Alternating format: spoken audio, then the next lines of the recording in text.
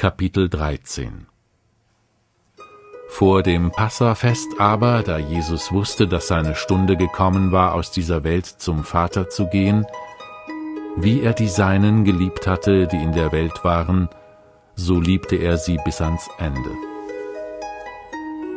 Und während des Mahls, als schon der Teufel dem Judas, Simons Sohn, dem Ischariot, ins Herz gegeben hatte, ihn zu verraten, da Jesus wusste, dass ihm der Vater alles in die Hände gegeben hatte und dass er von Gott ausgegangen war und zu Gott hinging, stand er vom Mahl auf, legte sein Obergewand ab, nahm einen Schurz und umgürtete sich.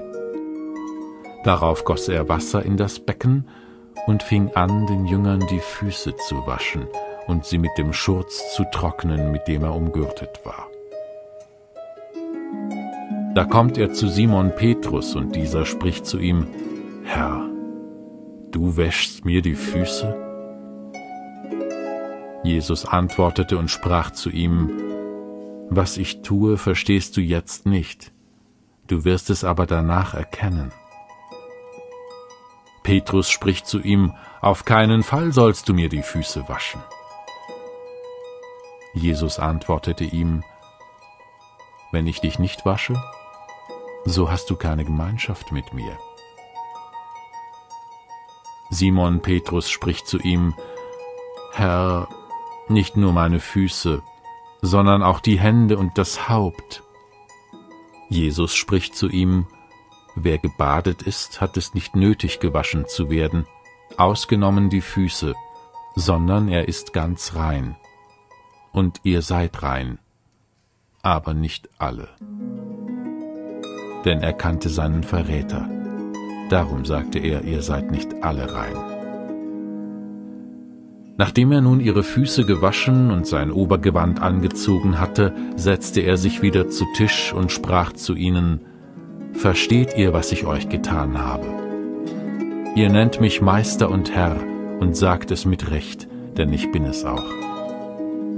Wenn nun ich, der Herr und Meister, euch die Füße gewaschen habe, so sollt auch ihr einander die Füße waschen. Denn ein Vorbild habe ich euch gegeben, damit auch ihr so handelt, wie ich an euch gehandelt habe. Wahrlich, wahrlich, ich sage euch, der Knecht ist nicht größer als sein Herr, noch der Gesandte größer als der ihn gesandt hat. Wenn ihr dies wisst, glückselig seid ihr, wenn ihr es tut. Ich rede nicht von euch allen, ich weiß, welche ich erwählt habe. Doch muss die Schrift erfüllt werden, der mit mir das Brot isst, hat seine Verse gegen mich erhoben.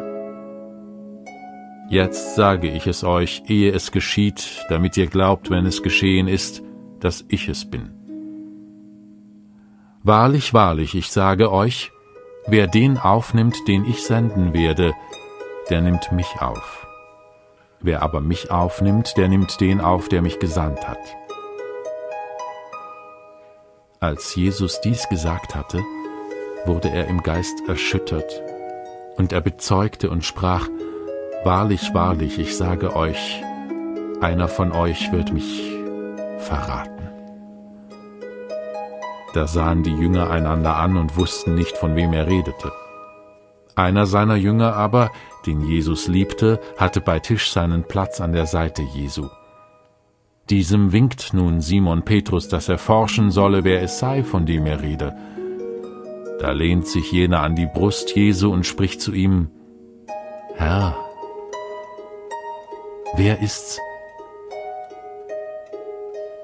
Jesus antwortete, Der ist's, dem ich den eingetauchten Bissen geben werde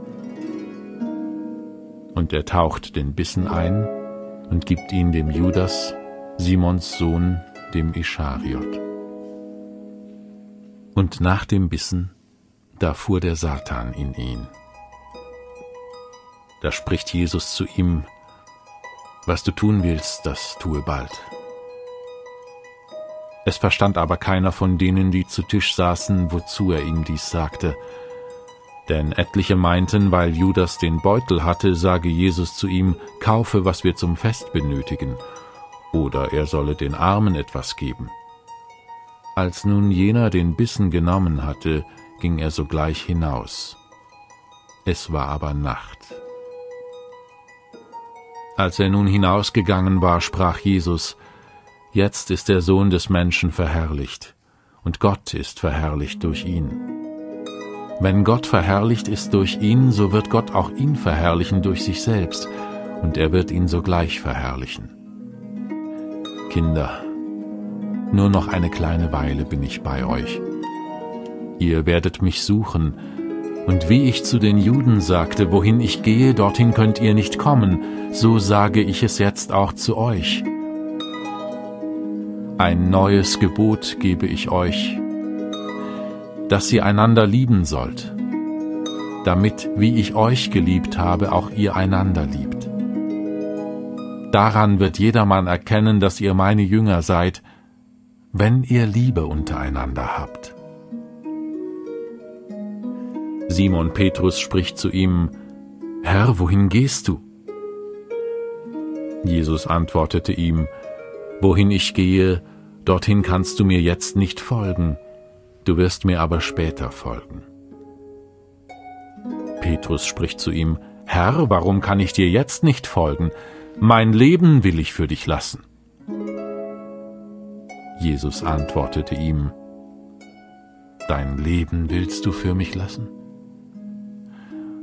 Wahrlich, wahrlich, ich sage dir, der Hahn wird nicht krähen, bis du mich dreimal verleugnet hast.